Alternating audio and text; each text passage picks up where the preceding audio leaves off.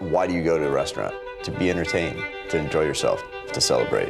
Breitbach's is like home. We're in a small community, but sometimes on Sundays we serve 2,000 people. Alinea is a place where food is at once art, at once craft, and at once science. This is an adventure. Every customer is a guest in my house.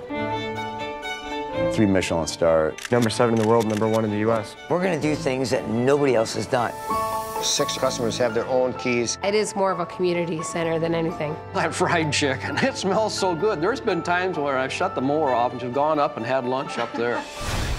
After 160 years, the Breitbach Country Restaurant is burned to the ground. There was a gas explosion. It blew me out of the kitchen. Food has become the resource to survival for us. The great irony, the chef with tongue cancer. There's a 60% chance that you're gonna die. If I can't taste, I don't even want to be here. The restaurant defines the town. We're doing all this for family. We would all do everything in our power to help them get going again. It's exhilarating, it's emotional. That's a restaurant.